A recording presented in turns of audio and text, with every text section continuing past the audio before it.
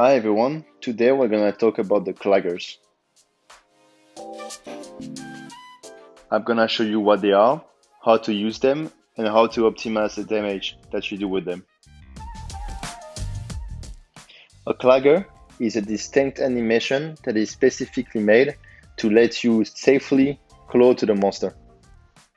It is a universal animation, which means that every monster will have it and they will stay staggered for the same amount of time. So what should you do with those claggers? Well, there is two things you can do with those claggers. You can use them to refresh the tenderize, or you can use them to do extra damage. So how do you know when to refresh the tenderize or when to do extra damage? With bow, it is extremely important that the part that you're focusing is always tenderized. Once you tenderize a part, it will stay tenderized for 90 seconds. And since bow is a light weapon, it takes two claw attacks to refresh the tenderize. So if you want to keep a part tenderized or softened, you need to at least do two claw attacks in every 90 seconds. So if you know that you're able to get more than two claggers every 90 seconds, or that the monster is almost dead, then you can use those claggers to fit extra damage. This is the kind of things that comes with experience, so experiment with it, see what works and what doesn't, and you'll get to know by experience. There's only so many combos that you can do before and after the clagger to optimize the damage and I'm gonna go over each of them. First of all, let's look at how to optimize the damage if you use the clagger to refresh the tenderize. Velkhana will be my test subject for all of these demonstrations. The best combo to do on a clagger before using the clutch claw is rapid power dash power. This is the combo that you should try to do every time because that's the one that does the most damage. However, it's also the hardest one to land. The timing is tight, so you need to start this combo immediately after the clagger starts. Also, since you're using a lot of spreads, you need to make sure that you're not too far away from the head when the clagger happens, or you won't be able to use this combo. The second best combo is Rapid Dash Rapid Power. This does a little bit less damage, but if the monster is too far away to do the first combo, this is the best alternative. You also use more stamina because you have to dash twice. However, the timing is less strict than the first combo. The third combo is just rapid rapid power. This does the least amount of damage, but this is the combo that you're going to use if you're completely out of stamina.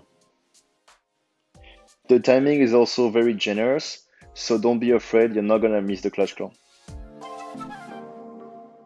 Now the absolute worst combo you can do, and the one you should try to avoid, is rapid dash, rapid dash power.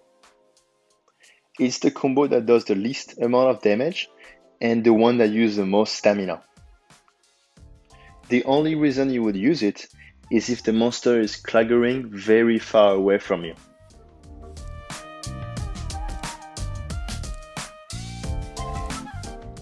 Those are the combos that you can do before a clutch claw. But what do you do after the claw attack? Well, it's simple. There's only two combos that I'm gonna show you. The best one is quick shot dash rapid power. It is very stamina friendly, the timing is perfect, and the damage is very good. It is the one that I try to do every time. I'll show it one more time.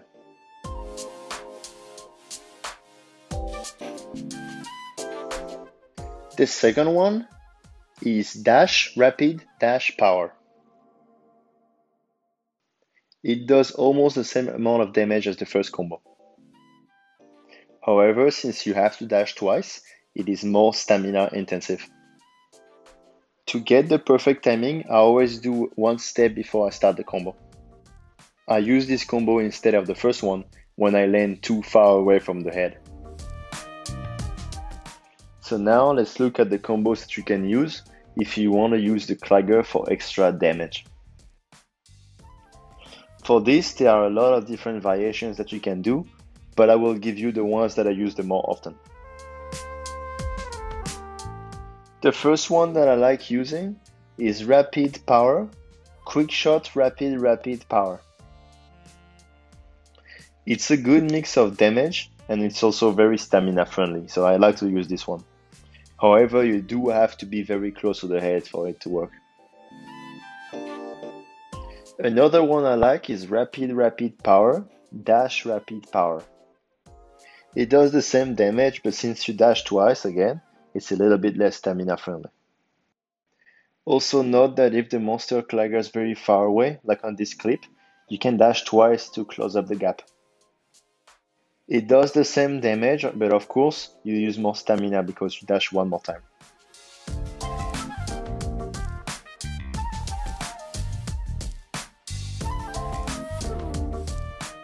There are more combos that you can use, of course, but those are variations of those same combos, so I will leave you experiment with it and find those variations. There is one more thing that you can do with the claw. When the monster is claggering, you can use the claw to extend the duration and let go right away to feed more damage. While I don't recommend to use it most of the time, it's useful in some situations. For example, if you're trying to stop a monster that is limping away or flying away, or if you're in multiplayer and you want to allow your teammates to do more damage. If I choose to do this, the best combo to do after you let go is quick shot, rapid, rapid power. It's just the best timing. Okay, I hope that was useful to you guys. Optimizing the damage you do on Clagger is a big part of the bow. Don't underestimate the damage you can do on those Claggers because it will add up and it's a big part of the damage you do overall during the fight. As usual, if you have any questions, please let me know in the comments and I will see you next time.